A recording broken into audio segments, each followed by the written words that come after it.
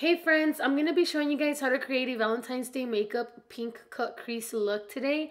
And if you guys want to learn some really good tips and tricks and do some perfect makeup like all these Instagrammers do, then just keep watching. So I'm starting off by taking the shade Temptin with the JH35 brush. This is from the Jaclyn Hill by Morphe collection. And the palette that I'm using is the Morphe 3503 Fierce by Nature palette. This shade is supposed to be my transition shade. It's going to help me blend all the other colors together. So pay close attention and apply this onto your crease and just buff it out all around until you have no product in your brush. And this is going to help us so much in the next step, okay guys? So don't click out of this video. The second shade I'm going to be using is called Unstoppable. And for this one, I'm using the JH40 brush. It's a smaller pencil brush, so it helps us really get in depth onto our crease. So we're to go ahead and tap off all the excess makeup and apply this onto our crease. Here's the first tip that I'm to give you guys in this video. When you're applying eyeshadow onto your crease, I recommend, I really recommend that you start applying it in tapping motions like you're packing it on there until you get it as dark as you wish. And then after that, you can start blending side to side. And this is important because this helps you so you don't get a lot of fallout and also so that you keep this eyeshadow color exactly where you want it. Now I'm going to be taking back that first brush that I used and it's the JH35 and I did not grab any eyeshadow. I'm just simply going to be using this to blend out the shade Unstoppable and I'm just to be doing this in side to side motions and let me tell you guys why. This is the next tip if you're blending out a shade like this, a bright shade, you want to go side to side so that the color doesn't go all over the place. It keeps it neatly into place and that's important because that's what makes it look so perfect. Now I'm taking the JH40 brush again with some of the shade Unstoppable and I'm going to reapply this onto my crease. So this is important. That way we build up the intensity of the shade, you guys. That is very important and it's pretty repetitive. So like you see right here, I just grabbed the other brush again, the JH35, and I'm doing the exact same steps. I'm blending side to side so that it can get smokier every time.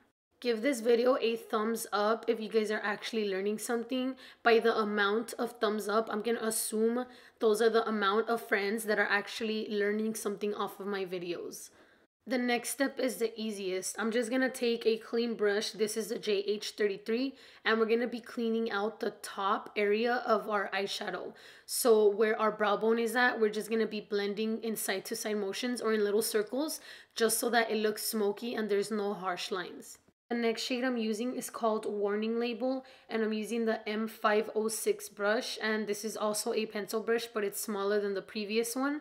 So what we're going to do with this is we're to go ahead and apply this onto our crease as well, but we're not to cover up that hot pink color, okay?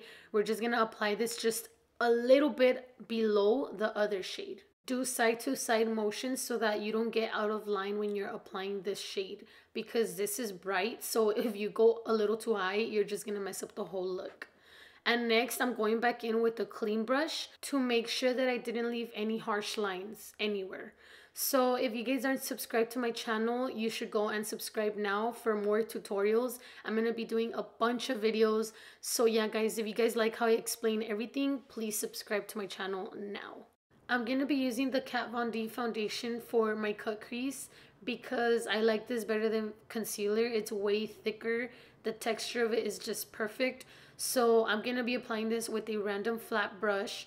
And you guys, here's a trick that nobody ever tells you and they don't show you on those little mini tutorials that they show on Instagram or anywhere else. When you're done cutting your crease and applying the concealer, primer, or whatever you use, what you do is you tap off any extra product left. So with your finger, you go in there and you take off any extra concealer or whatever you use so that when you apply your eyeshadow, it applies evenly and it applies perfectly because if not it gets cakey and weird and your cut crease does not look good and perfect like everybody else's does on Instagram.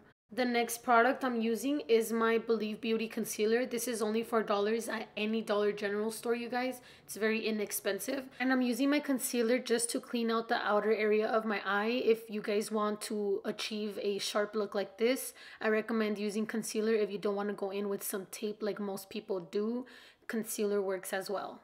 Then to set that concealer, I'm going to be using my beauty sponge and this one is from InStylish. So if you guys are interested in purchasing any of these items, I'm to have them down below so you guys know more information. Here's the next trick, so pay attention. I'm going in with a translucent powder. This one's from Urban Decay, but you guys can use any. And I'm to be using a tiny brush. This brush is called Sephora 15. And I'm to be applying this onto the concealer just to set it before I apply any eyeshadow on top of it and it doesn't get cakey. This is what makes this look perfect, you guys, so pay close attention. Now I'm taking a different palette. This is the 25L Live in Color palette by Morphe. And I'm taking the shade called Heart. And I'm going to be packing this shade on top of the translucent powder. That way it applies evenly and it looks really smooth. Use tapping motions. Don't do any dragging motions with your brush, you guys. Next, I'm going to be going in with the shade Warning Label and I'm going in with the JH43.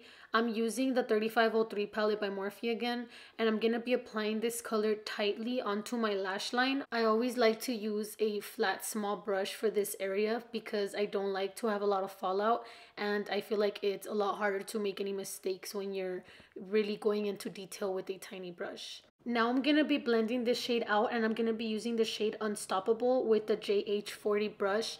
And I'm only grabbing a small amount of product, you guys, just enough to blend these two shades together so that it looks smoky, just like at the top. Now I'm going in with the Better Than Sex Mascara by Too Faced. Those of you that are subscribed know that I love to use this mascara.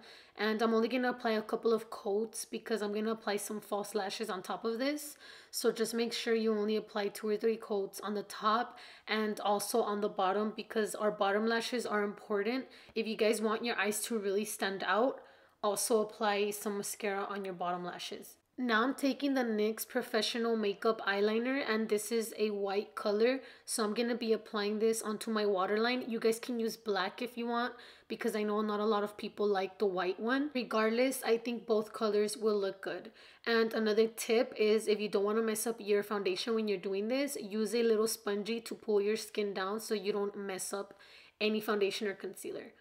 Now I'm going in with this gel liner from Maybelline and if there's any drugstore eyeliner that I recommend it's this one. It's very dark and creamy and it doesn't really dry up. I'm taking a tiny angled brush so that I can apply this onto my top lash line and I'm only going to be applying a small amount you guys. I only want to use this so that my eyelashes can just sit on top of it and it helps my real ones blend in with the false ones. Now I'm going to be taking my lashes in the style Sapphire. These are from KJ Lashes. If you guys are interested in purchasing these, they are very affordable. They're only $7.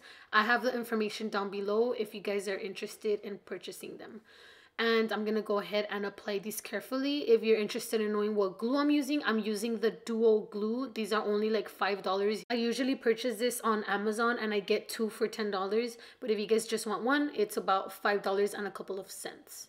Now, before I forget, because I didn't apply this and it's important, I'm using the shade Liberation with the brush M213 by Morphe.